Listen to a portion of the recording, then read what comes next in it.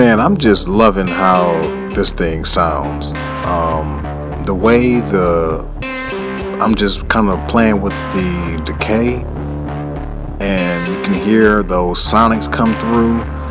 Um, like I was saying on the other video, if I'm not, I don't know for certain if DJ Quik, you know, who he, what type of instruments he may use, if any gear at all like this but this definitely seems like because he is like a hi-fi DAC producer. He like clean sounds, and this definitely seems like Dave Smith would be somebody that he would uh, he would use because this thing just sounds pristine.